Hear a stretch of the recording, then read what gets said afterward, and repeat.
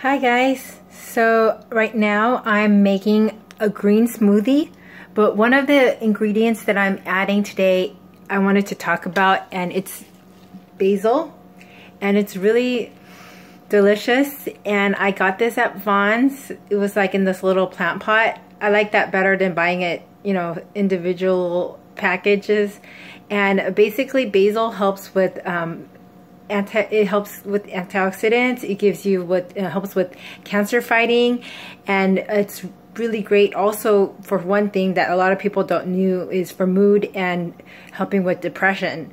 So if you have depression um, one of the things that you can do is exercise take fish oil and also take basil. So the smoothie that I had made this morning is coconut water celery, parsley, cilantro, kale, this big batch only $5. I've got some ginger and some coconut oil. Coconut oil is healthy fat and it's very good for you.